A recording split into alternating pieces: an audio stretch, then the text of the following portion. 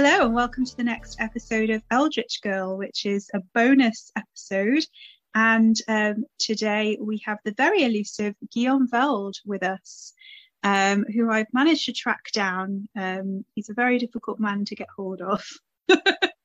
uh, but Guillaume Velde has done a guest post for me on the blog before, um, talking about the Pagham-on-Sea Museum and Containment Facility.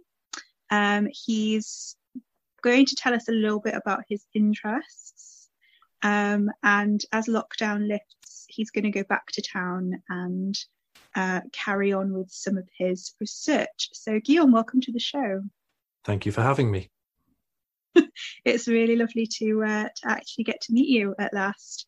Um, so, yeah, would you like to introduce yourself a little bit um, and maybe say a little bit about uh, the museum and your research interests? Well, my I, I, am a wandering researcher, I suppose you could say. Um, I have a day job, but it mostly doesn't matter where I am when I do it. So um, I am free to pursue my research interests to a very great extent. Um, and these take me to Pagham-on-Sea fairly often. My major research interests are really in the histories and the folklore of coastal areas, um, especially around shipwrecks and wrecking, and both the actual history and the stories that people have spun based on that history. Ooh, very interesting. I mean, we should point out as well this is Pagham-on-Sea East Sussex, not yes Pagham West Sussex. Um, yes, so okay. Um, tell us more about um, can you tell us anything about what you're researching at the moment in terms of shipwrecks around that area of coast well Pagham-on-Sea pro- um, provides some unique challenges um, and some very interesting um, history I mean, firstly, there have been the normal run of people just not looking where they were going. Obviously, there are rocks offshore and um, if you look at a map of the south coast of England, there's just wrecks all over the place. You know, it's not particularly uncommon to have wrecking hotspots. Um, Pagham is not notable for the quantity of its wrecks, but it has some interesting special things about the ways that people tell stories about them. And also, due to some quirk of history, some um, objects from a couple of very important shipwrecks have ended up in the museum here. So it is a good place to be for what I am currently researching. Um, so Pagham had a bit of a wrecking problem, as many areas on the south coast did, where people would attempt to lure in ships by means of lights onto the shore to wreck them and steal the cargo. Yeah. This usually involved also disposing of the unfortunate crew and you can certainly see um, in eyewitness stories told by various people, you can see evidence of unwarranted alcoholic bonuses, say, that were uh, either salvaged in fairly heavy double quotes or um, simply smuggled on via the beach there. Yes, yeah, sorry, I was going to say um, I know that the town does have or had like a big smuggling kind of history. There's a there's a smuggler's tunnel, isn't there? That's um, that runs like quite a way, uh, kind of out, but it's meant to be underneath or come out of Fairwood House, which is quite yeah. away from the coast, actually. Yes, it is. Um, I think one of the reasons why there was such a big um, pre- smuggling presence is simply that in Pagham-on-Sea, a lot of the people who were at least organizing the smuggling were actually very well off and very well organized. Um, so this is not what you see in some places, which is sort of very freelance. I suppose these days you would call it small business. Um, um, yeah. I mean, I grew up in a coastal area, and there was very, very, very much. Um, even now, there was a great deal of um, what you might call individual level smuggling. Um, in in Pagham, though, at the at the at its heyday, this was being actively funded by people who were quite well off and quite important, as far as we can see. And this is probably why the the main smugglers tunnel leads all the way to Fairwood House. Yeah. Um, I, I, I have no wish to besmirch the memories of individual families here, but as clues go, that is not a subtle one. yeah. Oh, one of them was, I, I think, I can't remember what they're all called Peter or John or something, aren't they? Um, but like one of the savants was the magistrate as well, which helped. Yes, at that time. there are reasons why the excise were not notably successful in this area. Um, and the fact that all of their liaisons in lo- what passed for local law enforcement were all quite cheerfully drinking smuggled brandy probably accounts for this to a certain extent. There is an interesting social history yet to be written, um, debating whether the um, people who ended up running the show actually planned to end up running the show and ran it like a business, or whether they ended up um, in this position simply by consuming smuggled products and having to take responsibility and diverting attention more and more and more. Um, and it's entirely possible that um, the uh, savants in question, um, because there were multiple generations of this, it was a family business. Yes. Um, the savants in question just kind of preferred not to think about it too much. Um, and in fact had simply ended up by ended up in that position by making a lot of decisions which seemed pragmatic and sensible at the time and after after 20 years or so had actually put them in an extremely questionable legal position yeah i mean they were into all sorts of things though that family there's there's like a there's lots of links to the occult and um, all sorts of interesting rumors. Uh, yeah, I mean they they were just a very questionable bunch, really. I think they were just bad at saying no. Um, it seems to be a family trait that I mean they were into the occult when it was fashionable to be into the occult. They were into smuggling when that was a way to make quite a lot of money. Um, uh, but again, I I don't get the feeling that there was any organization there. I mean, if you look at the the sort of the noble families or the semi-noble families, um, they are not up there among the great organizers or the great schemers. No, they just yeah, repeatedly yeah, into, you know, they they they just have spent several centuries just narrowly escaping being in serious trouble. That that's the entirety of their story. yeah. There's, yeah. There were no great high points. There were no great low points. They just kind of just about escaped from penury with every other generation or so. Yeah, I mean, arguably until the very last one, and that was like their their death duties had gone through the roof, and uh, was it Sir Jack was very ill, and um, yeah, yeah, like that's yeah, yeah. I think I'd agree with that. I mean, that wasn't until sort of the mid to late 20th century, anyway. Yes, and um, I mean, an awful lot of families in a similar position whose wealth was not easily accessible necessarily, um, whose mm. wealth was bound up in land and and with various legal obligations attached to it, found themselves in similar positions. Yeah, yeah, that's true. Um, in terms of the wrecking um, and uh, the the kind of that history, what would you say is uh, some of the most interesting things to have come out of your research so far? I don't think it was uncommon for wreckers to cultivate ghost stories um, smugglers too, very notably, and I mean this shows up in quite a lot of fiction about smuggling too. The idea that you put about the story that so and so's ghost is wandering angrily on the shore at night for some ill-specified reason, and that they will visit terrible vengeance, possibly involving a spike upon anyone who uh, who interferes with their um, nocturnal meanderings. Um, because if you can scare off the kind of people who are likely to believe in ghosts, then you've made an appreciable reduction in the number of people who are likely to interrupt you. Um, and also, yeah. if you can, if you can cultivate a kind of a supernatural air, then people are just going to avoid the place at night. anyway, which is again to your benefit if this is somewhere you are doing something extremely legally questionable. Um, in Pagham-on-Sea, there is a slight complication here, of course, which is that there are lots of fairy lights.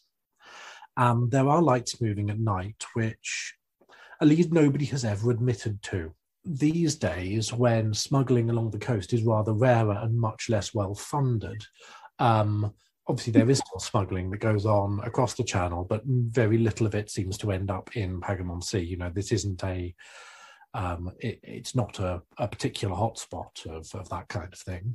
Um, no, I know. You still get a lot of lights along the coast that really don't seem to have a purpose and that wander at will. And of course, if you are especially a sailing ship coming up past Pagham-on-Sea, whether the diverting light is being waved in the air by a wrecker or by a fairy is really slightly academic. Um, the rocks are still quite spiky, and I mean there are lots. I'm I'm not. I do not wish to to besmirch anyone's good name, but there are lots of stories about kleptomaniac fairies. So the result may, in fact, be precisely the same. Um, and in fact, the result is probably the same for people from the town as well. Because if you interrupt a fairy on the cliff top, or if you inter- interrupt a wrecker, the difference in what happens is largely going to be the precise manner in which you die. Um, because neither of them are notably friendly to people who wander up in the middle of the night asking bloody stupid questions. no, that, yeah, yes, that's very, very true. so you have this interesting thing where you can't actually tell what bit is organic story, you know, the supernatural, like the fairy lights, what bit is kind of mythological posturing put about by the wreckers themselves, and which bits are just made up. Of course, there there are grave difficulties in thinking and talking too much about things like the fairy lights because you have to be very very careful about what is story and what isn't anyway but the presence of the presence of actual unexplained lights does make taking to bits the stories about wreckers significantly more interesting. Yeah, I'm trying to think of um, a good example that I've heard. Um, I know about, I mean, Seamus McVeigh is the obvious famous one. There's lots of urban legends and myths about, like local myths about him anyway, because he's the one that got buried alive in the smuggler's tunnel. And again, that's like Fairwood House related. Um, and um, you'll obviously you know um, Harold Bishop's book. Yes. Um, yeah, I mean that's I, I, so there hasn't been. I don't think there's been an updated version since like 1987, but like um, so that's like the book obviously on um, the history of Fairwood House, which uh, for any listeners that don't know, um, and it's uh, published with um, Basingstoke University Press. um, so I've quoted from that actually in my um, Folklore of Pagham-on-Sea, Volume 1, um, but not the Seamus McVey section. Um, but I'm going to kind of think about doing that for Volume 2. Um, so maybe actually, Guillaume, we could uh, kind of reconvene and, and for Volume 2 of the Folklore, and I'll get you on some fairy lights and records. I think, um, I think there is a very interesting situation here where um, Bishop and other people have really concentrated on McVeigh as a person and as an individual, um, whereas the the social dynamics of the wrecking and the smuggling are more interesting because, of course, it's not just one person and it's not just one character doing it, um, and there's all these social networks up and down the the coast. Um, and as I said, in Pagham, that becomes especially interesting when you consider things like the fairy lights and what else might be trying to prey on shipping. Um, yeah, absolutely. there are stories to be told about the interactions of smugglers and wreckers with other things that are trying to prey on shipping. Um, and I do not think some of those stories um, exist in oral history. There are some some trial records that had some more than usually odd stuff in, um, and in the archives. Um, and I don't think those have been visited enough. I think that there's a very interesting study to be written in future on that. Yeah, I, I was also thinking about um, Daniel Pierce's journals. Um, mm. So those the the um, he was a local farmer contemporary again, a, a McVey contemporary. So that's the 1780s, I think. Uh, seven, no, sorry, uh, 1740s, uh, way out. um, sorry. Um, and they're in East Sussex Record Office, I think, at the moment. But I think when people look at Pierce's journals, um, I think you're right. Like I've had a brief look at them for for certain bits and pieces, but I think a lot of it is kind of um, neglected because uh, Pearce writes in a very um, even though it's a personal journal, a lot of what he's writing, if it was if he was writing kind of blatantly, would be very incriminating if those journals were found. And it kind of reading between the lines, you get the sense of this network of farmers and like as in like gentry farmers in that in that whole county, who are all recipients of um, some sort of ill-gotten gains, but nobody's really talking about it in that sense and Pearce's journey, and, and um, Pearce, of course, uh, uh, knew McVey, and we know that because um, not to not to focus too much on McVey as a person, as you say, um, but uh, there's a there's a story where McVey bet his pistols on a cockfight at King's Head, and he lost them to Daniel Pierce, and so those pistols are now in the museum, aren't they? Yep. As part of the yeah, as as part of the um, the smuggling collection. Um, and so, but it's not like, you know, that that's kind of often dismissed or glossed as like a random encounter, but nobody's really asking, well, you know, who who else was at these cockfights? And we know that um, events like cockfighting and um, you know, like dog baiting and gambling and that, that that was all going on at the time. Um, and there are that those social networks of people that, that overlap and map onto, you know, not just who was doing these sorts of activities, but also they were meeting, the deals they were making, um, all of that kind of stuff in terms of social networks. I mean, as in most towns, it would be very, very interesting to instead of having all these official records, have a short but reliable list of who was going for quiet drinks with whom. Yeah.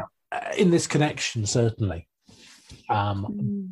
But yes, I, I think it's not just that. It it is, as I said, the fact that other things are likely to be preying on shipping. Um, and, yeah. and fairy lights are possibly a a good indicator of that. Um, and I think there are there are stories not so much of smugglers run-ins with other smugglers or smugglers run-ins with wreckers or either of their run-ins with sort of the their paymasters i suppose you could say.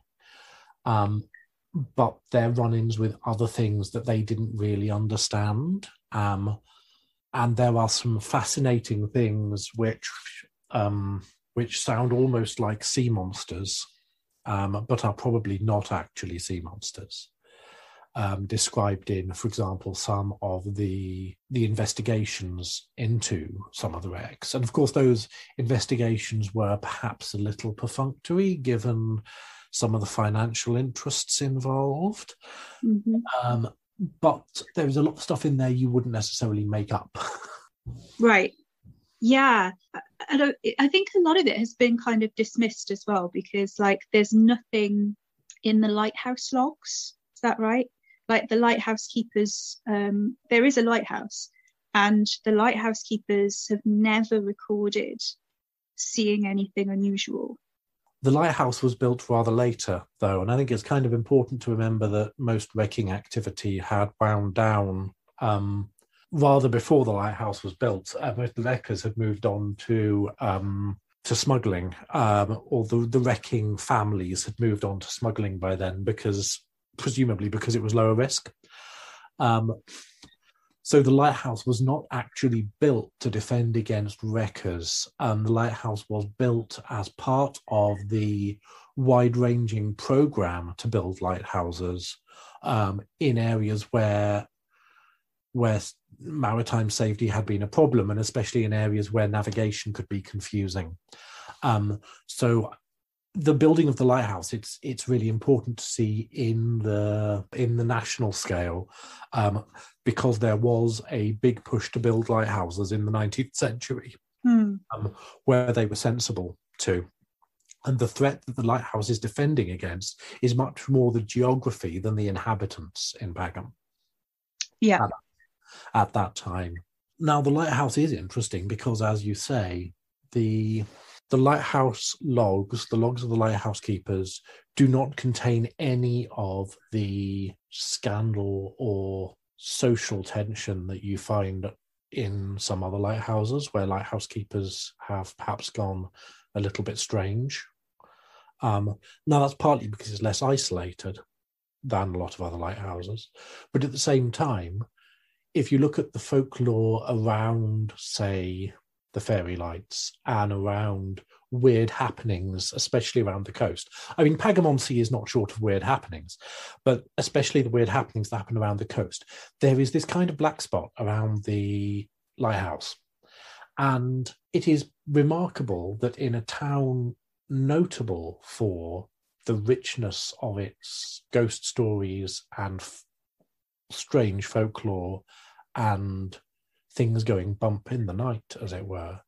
Nothing at all has been said about the lighthouse, even though it is a lonely place comparatively by the edge of the sea, and lighthouses attract that kind of story. Um, in fact, as far as I can see, the lighthouse never really saved anyone from wrecking. It never really caused, you know, it was never involved in anything. Um, people sat there for ages until it was automated, and it just sat there. You know, it has it. Nothing interesting has happened in that lighthouse, which in Pagham-on-Sea makes it an intensely interesting place.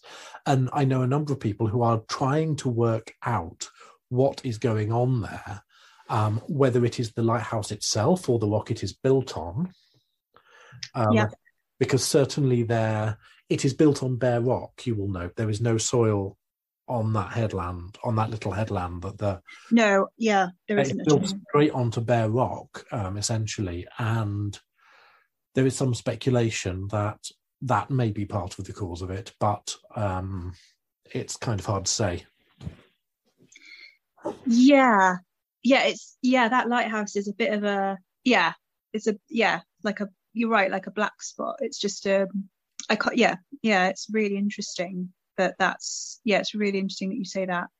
Um, and it's it's interesting that um it's that the question about the rock itself as well, because I mean we know a lot about the soil um, of of Pagham-on-Sea.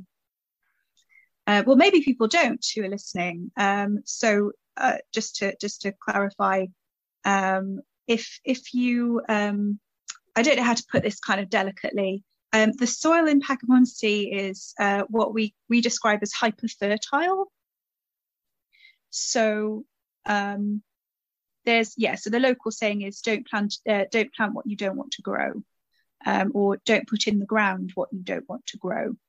Uh, which means anything of any organic material whatsoever um, especially at a particular time of year. Um, so that also means like you're, if, if you do have to dispose of a body, don't bury it. that's, that's the official advice. Yes. Um, I mean, yeah. really, there, there was that kind of fascinating heyday of agricultural experimentation. And in Pagham-on-Sea, that just went in a slightly different direction with slightly different results than it did in much of the rest of the country. Uh, and yeah. As a result of which, there is there are this this this this of course presents both opportunities and problems. Um, no one is ever going to be short of fruit in Pagham-on-Sea. No, that yeah, that's very true. We are very blessed down there. Um, yeah, I was just thinking though, um, moving moving into that because we we uh, so fossils is is what I'm going to say to you. yes, because there's a reason that the museum is called the Museum and Containment Facility. Well, yes, I, I, think a certain amount of this is overreaction. Um, okay. But so the problem here is that um, if you are in a situation where everything you put in the ground that was once organic grows, you have a real problem when it comes to fossils. Because and for a long time nobody thought about this. And this is really in, the really interesting bit is nobody everyone knew that you didn't bury people. Everyone knew that when you planted seeds you got incredibly fast luxuriant growth. Everyone knew about um, the uh, interesting approaches to agricultural science that got us there. They might not talk about it but it was generally a known thing. Um, but nobody until really comparatively recently thought about the fossils, which of course are underground and were once organic. Um, and yeah. so the problem really here, uh, the problem here really began to come with the installation of civic infrastructure, um, and specifically sewers and pipework. Um, and I mean, let's just say when when a giant stone ammonite crashes unexpectedly through the wall of your sewer, uh, you find yourself with problems on a number of levels, not just sanitary ones. Um, mm, I shouldn't laugh. Well, I mean, that was very expensive. That was. It was extremely expensive, and it was absolutely terrifying, and no one really made the connection. Um, when because of course it had been growing and it had been moving um, because obviously when as it grows it's being pushed through the soil following paths of, of less density. You know it's growing in a direction. And um, one of these things came through the wall of the sewer and people were like what on earth is going on here? Um, and so they patched it up the oh. sewer, not the ammonite. The sewer, not the ammonite. The ammonite was the, the, the ammonite was in great condition. Um, we, have still got it in the museum. Um, yeah, I've seen it. It's fucking massive. it's huge. It is enormously huge. Um, and I mean, then um, then a little while later, uh, a couple of years later, another one did the same thing. Um, and people ran around waving their hands in the air, going, you know, what's going on here, what's wrong, etc., etc. Um, and there was much um, conspiracy theory and occultism going on around this. Um, and then a third one uh, occurred, um, and you know, once is a coincidence, twice suggests malevolence, but on the third time, you have to admit there's probably a design flaw somewhere. Um, and this, this was the event that firstly got people to um, understand that they needed stronger sewers in power. Secondly, got people to take seriously that they they had a whole new set of hazards to deal with when installing infrastructure in general, uh, not just sewers. Um, uh, I mean, a, a suitably large um, trilobite will will quite happily just cut through a phone cable like it's nothing, you know. But also, this was the these were the events that got people thinking about what was going on here, um, and the the design of the containment facility was partly a response to a threat to infrastructure and people think it's this terribly you know um, occult malevolent thing um, which is because they're th- still thinking in a two sewer interruption world rather than a three sewer interruption world. Um, right yeah. because people want there to be this great eldritch uh, threat to the world where what there just actually is is large bits of stone that will screw up your infrastructure. Um, anyway yes um, so what they did was um, they began mapping out the contours in the ground, which some people call ley lines. Um, and they did this with very precise, very precisely balanced dowsing rods. Um, the especially let's not forget that especially the late 19th century was really a heyday of precision instrument manufacturing. Um, so when I say precision dowsing rods, I mean it. The, these were very, very carefully designed surveying instruments, eccentric perhaps, but very, very carefully thought through. And what they did was they made sure the sewers ran with the contours, with the ley lines, rather than across them, because of course the um, because of course the fossils were trying to move along the contours too. So if you had your sewers running parallel to where the fossils were trying to migrate, for want of a better word, um, it was massively less likely that they would be collided with. Um, and this kind of surveying still actually has to be done before major projects. Um, in case anything has shifted underground or in case anything is still moving we think we've got all the really big ones now, but we wouldn't necessarily know until it actually hits something. Um, so it's good practice to install things where possible in such a way they won't won't get hit by migrating fossils. Um, so Pagham-on-Sea, for fans of infrastructure projects out there and infrastructure installations, Pagham-on-Sea is the only place you're likely to see a telecoms engineer wandering around in a high vis jacket with a dowsing rod and a GPS receiver attached to it, um, and making careful notes about um, where the dowsing rod dips and does not dip. Um, and most of the telecoms companies, especially, are kind of resigned to this now, but some of them still, still kick up a bit of a fuss. But fortunately, the council insists because. Uh, it has to be done, really. Yeah, it has to be done, doesn't it? It's just such an expensive way to, to, yes, to run your life. And yeah. it, it, does amuse me that people, as I said, think about the containment facility as this kind of eldritch uh, occult thing, whereas actually it is to make sure the phones and the sewers keep working. There's a kind of a, an amusing um, juxtaposition there, an amusing contrast. I mean, the, the fossils don't move when they're out of the soil. We should. Yes, exactly. Point um, out. Um, that's that's yeah. why the the containment facility is designed the way it is, um, so that they. Uh, I mean, the fossil exhibitions are, of course, presented fairly um, conventionally because, in that context, you know, they're in a display case, they're off the ground. It's quite easy to stop them accidentally uh, getting thrown out or being a problem. Um, in the actual storage uh, places, the the fossil storage is very carefully kept above ground on um, plastic legs. And the point is that a fossil should never be able to touch the ground. Now, this is, in my view, an absurd overreaction, um, as is the as are the extremely, as are the very serious security uh, restrictions around them um, because these things do not move fast when they are in the ground. Um, and even if one escaped and touched the ground, you would probably have a good four or five days before it had submerged itself. You know, these things do not move fast.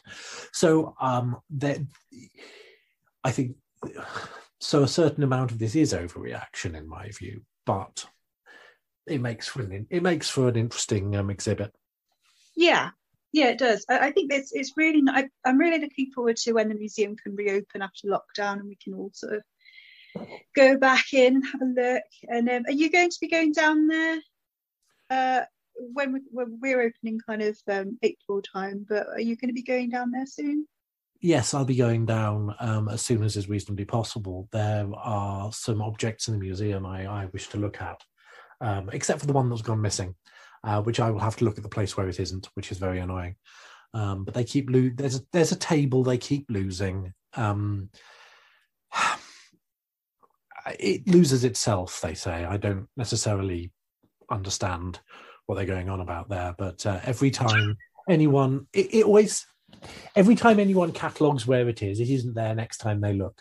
And it's odd because they're usually quite careful um, with their um, their inventory management and their collections management down there.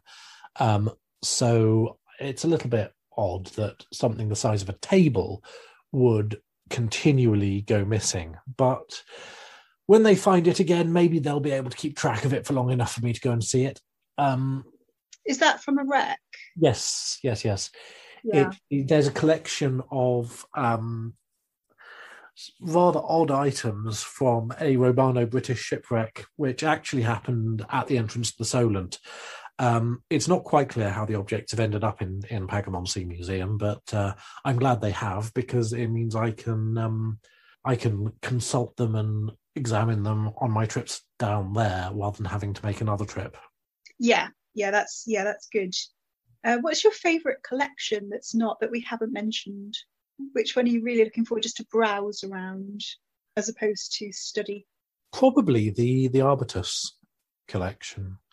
Oh yes, I love that one. Which has so many stories in it um, on so many levels.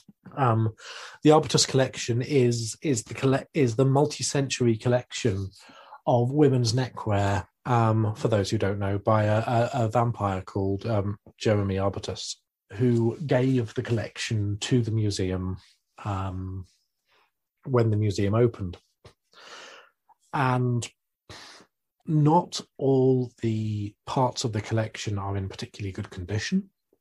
I mean, each one, uh, as is well known, each one has a single bite mark in it.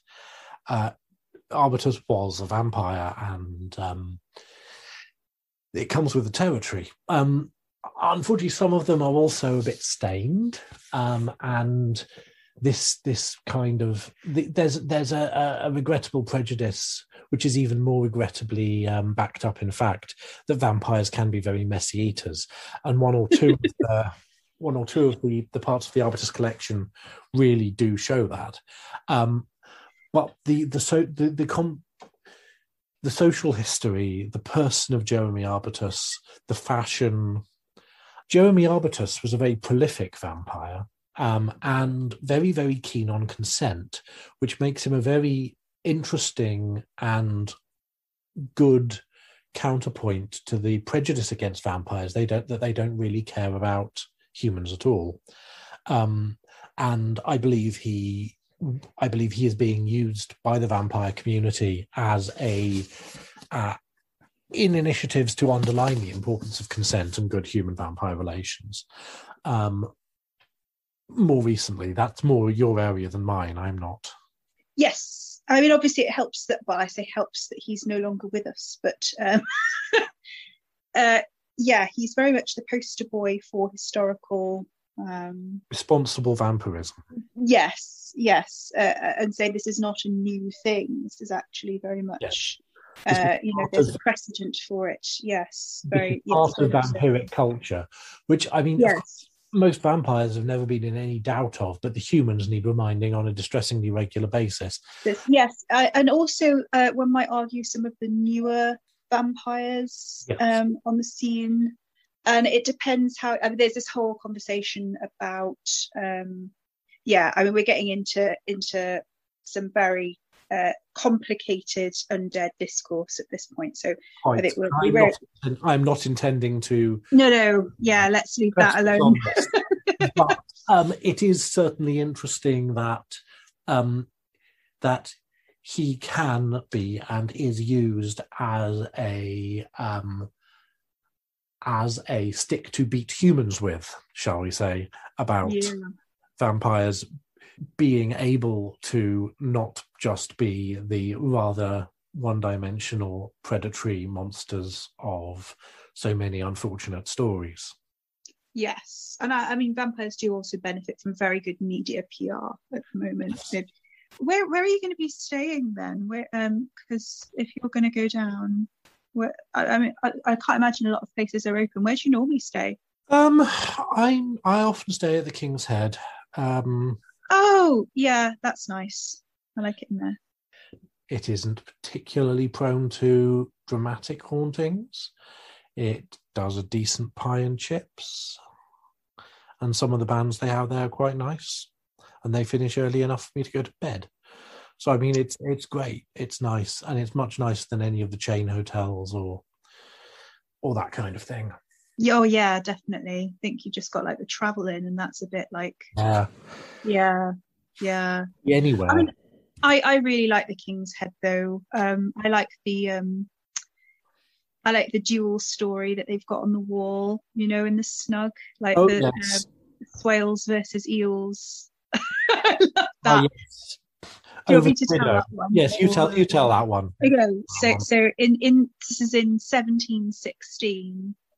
Um, there was an ongoing feud between the landlord of um, the King's Head, which was uh, Thomas Swales at the time, and the landlord of the Exchange, uh, which is um, a couple, just kind of like uh, you sort of go out of the King's Head and turn left, and the Exchange is then like on the end of the road, but like yeah, you know you you know where I mean. Um, and that was sort of for the affections of the recently widowed Maria Whitten. Um, so they fought a duel in what's now the beer garden of the King's Head, um, which was at the time where they did, you know, sort of cockfighting and, and sort of like we we mentioned before. Um, and Swales chose pistols and he shot Eels in the shoulder, and Eels shot Swales in the thigh, I think. And they both kind of got patched up and survived the resulting infections. um, only to find out that Widow Whitten had run off with Captain Nathaniel Black of the Royal Navy. So it was like just generally devastating for everyone. Um, and they've got that story on the wall um, in just in the in the snug, which is really lovely, um, along with um, like a little painting of of Swales. Do you know what I mean? Like the, the little the little portrait. Because doesn't he haunt the pub?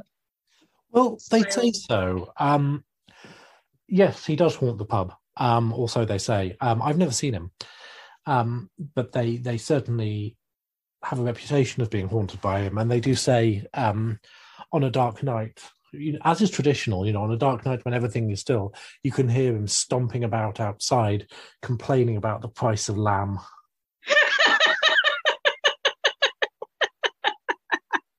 yeah, I've heard that story. I haven't heard him. I haven't heard him either. But um, yeah, that's what they that's what they say. He, he day. He, he swears something terrible. They say. Um, See, the problem is, like, it's Pagham-on-Sea. How would you tell that it was a ghost? Just anyone. I mean, yes, yes. I mean, I've I've said some choice things in that beer garden myself. So yeah. Um, yeah. Oh, it was well, I think that's all we've got time for, unfortunately. But um, maybe I'll see you down there when you're next next about, because I want to go back down as well. But um, yeah, it was absolutely lovely to have you on the show. Thank you so much for sharing um, about your research and stuff. And we will reconvene at a later date, hopefully. Um, having me, yeah, no, it's it's uh, it's been an absolute pleasure. Thank you very much. Hopefully, we'll have you back on the show at another time. that would be lovely. Um, that's all we've got time for. Thank you for listening. Um, on Thursday, we've got the next instalment of The Crows to listen to. Um, so stay tuned. Don't forget to subscribe, and we'll see you on Thursday. Bye now.